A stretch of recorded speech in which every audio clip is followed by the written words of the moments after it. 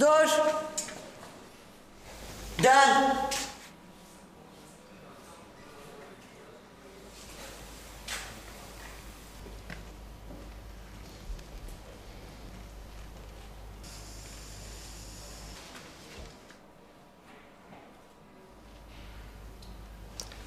Üçü mü sadece? Evet. En zeki üç mahkum kız. Gazetelerine böyle çıktık. Meşhur olduk hafiften. Bana bakın kızlar. Öyle gürültü patırtı istemiyorum burada. Ağlayıp zırlarsanız hele kızımızı dinlemem, canınızı okurum. Bunda ağlayacak göz yok ya neyse. Okul kıyafetlerimiz geldi mi? Ha, geldi. Çok mu heveslisin okula gitmeye? Hevesliyim tabii. Ben sırf okula girebilmek için. Çok mu çalıştın? Geçin içeri. Geçin.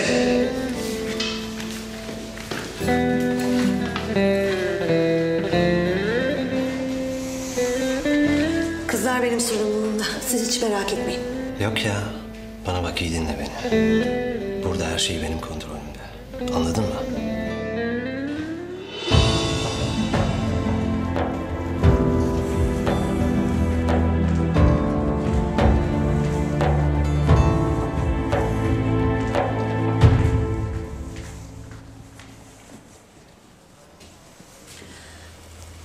Kızlar, benim adım Fitnat.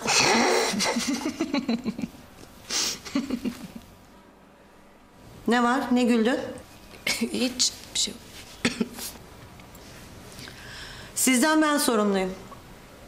Bir isteğiniz, bir ihtiyacınız olursa bana seslenin. Zaten kapılar açık. Koridorun sonunda gardiyanlar var. Söylersiniz gelirim. Hadi şimdi yerleşin.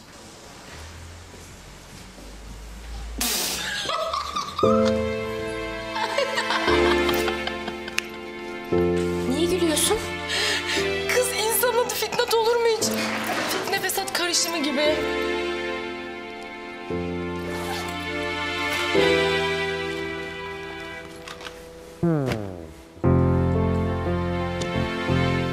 Sen Ankara'dan geliyorsun değil mi? Aradın mı sizinkileri okula başlıyorum diye? Ay ne heyecanlanmışlardır. Benim annemler İzmir'deler. Ee, bilet parasını netleştirmediler ama haftaya gelirler kesin. Benim annem gelemez. Babam hayatta salmaz. Ama aradım annemi. Ağlamaktan çok konuşamadık. Çok mutlu oldu okuyacağıma.